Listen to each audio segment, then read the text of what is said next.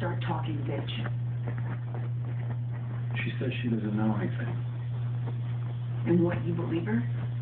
I know this sucks for you, but she's in there because she's involved, so get your fucking head on straight. You don't have any proof. Come on, Quinn, you're a detective. Where's your gut say? I don't know.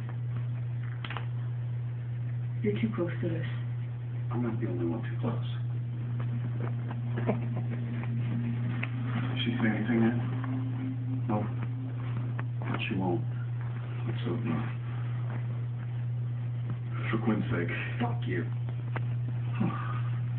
And you. Keep me posted. Oh, where you going, half-day? To find a Trinity decoy before Christine says the magic words. Lunch. With Rita, my wife. I'm sorry. Where is it you really go every day? Cut me some slack. His girlfriend has to. Say hi to Rita and Harrison for me. Will do. You're funny, Patsy. Girl, Christine Hill's apartment. Let's get a team over there.